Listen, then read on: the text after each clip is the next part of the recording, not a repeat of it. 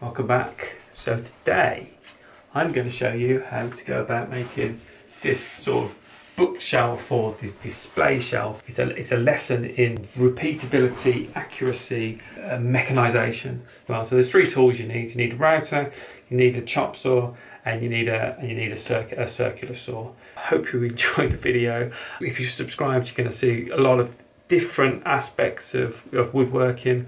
And maybe you, you just enjoy watching woodworking. I don't know. I'm going to show you how to how to rip down long lengths of MDF. Do a drawing of, of what you're actually trying to do.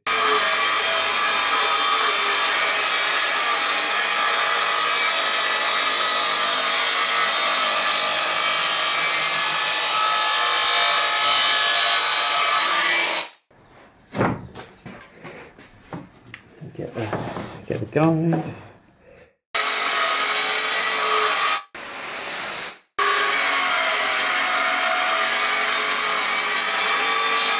So we've got all the we've got all the long lengths. We've got all we've got them all cut down to the width of 150 mil. So the next job is that I'm going to cut all of these shelves at 280. Uh, so they're all identical. Uh, so so it's crying out for setting up the the chop saw.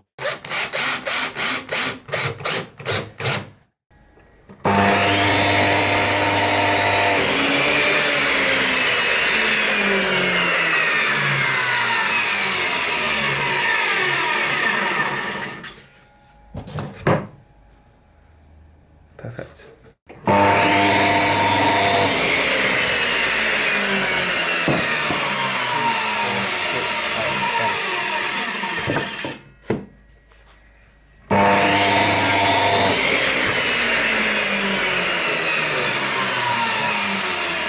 Right, so I've cut all the bits to something about two two hours. I have got about 30 little little shelves. I want to house them into these. We've got 30, 30 shelves. I got about 60 housings to to um, cut. If I had to set those all up individually, it would take me forever. So what I'm going to do is I'm going to create a, a jig. Each shelf has a, pa- a paired housing. So what I'm going to do is I'm going to make my jig two pairs, two eh, two housings at the same time. So it'll save me time, but it will also mean that that when I actually put them back together again, they'll be in the same place.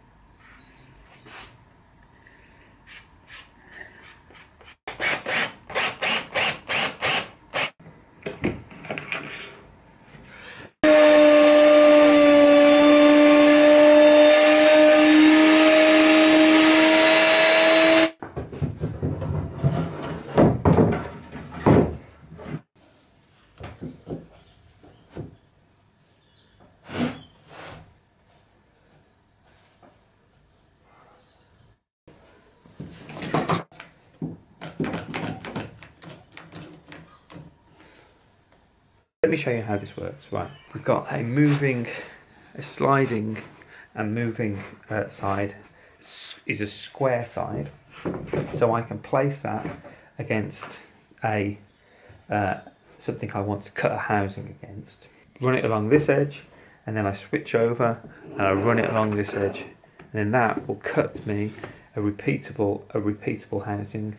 And the way I set the thickness, get it square just pop that in there. Just check it on this. Let's get square all the way along. So just do one. So what you've got to be careful of is not to set this too tight, otherwise you'll never get your never get your housing in, or you'll never get your, your timber in. Right, I'm going to make another jig, but this time it's a 300 spacing to get the centre right.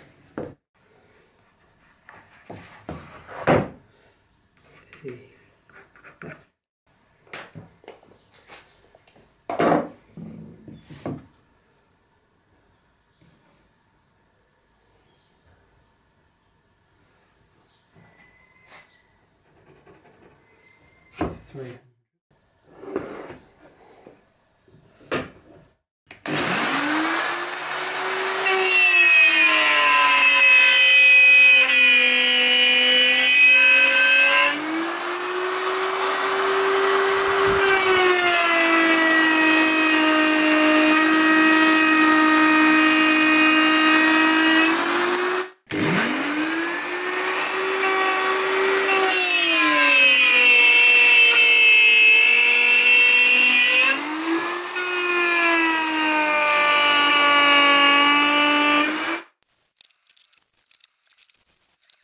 As you can see, gold and housings in. They all match and correspond to each other. So I'm just going to cut cut them down to length. Um, didn't take too long. Quite pleased, and well, we'll see what it looks like when uh, when I start putting it together.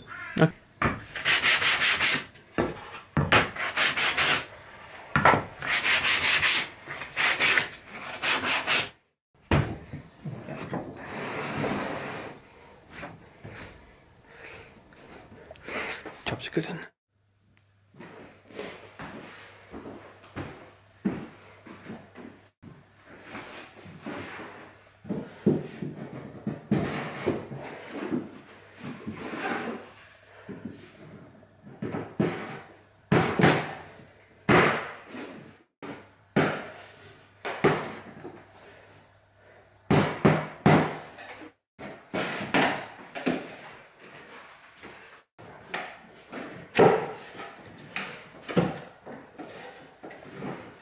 There you go.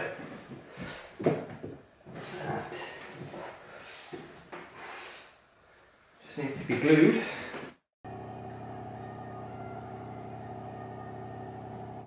What are you watching, Bill? Whiplash.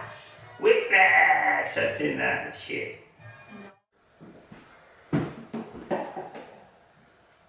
The reason I've glued it into two into two halves is that I wouldn't be able to get it up the stairs otherwise. Uh, with with fiberboard, if you put a screw into the into the end grain or something like that close to the edge, it will split. So because this has got a housing, that should help prevent it. But I just want to check uh, and drill. And obviously, if you want to try and prevent splitting out, then hit use a um, use a pilot hole and a pilot drill. So let's let's drill that anyway. See what happens. So drilling it from the back.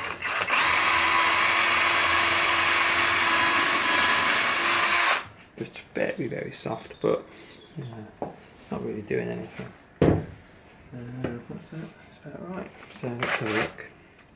Pop this in here.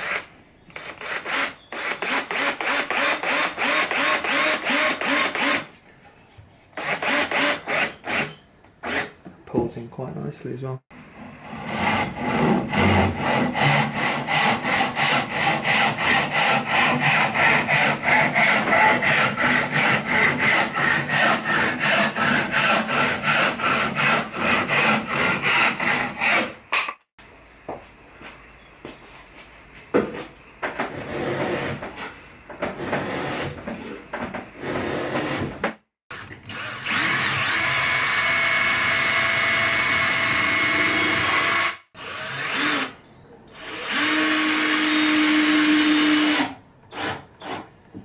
This is how you can how you can make um, how you can use housing joints to to to build something build something quite substantial with very simple tools just with a router a jig circular saw uh, and a few hand tools. And you can you know for for the price of a sheet of MDF you can come up with something quite impressive. So it's just as you know you're only limited by your imagination. Um, if you like these videos if you're learning something from, from these videos then there's going to be loads more and there's going to be loads more things that you can learn. So if you if you if you want to learn more about woodworking and, and how I do things then uh, subscribe to the channel. Right.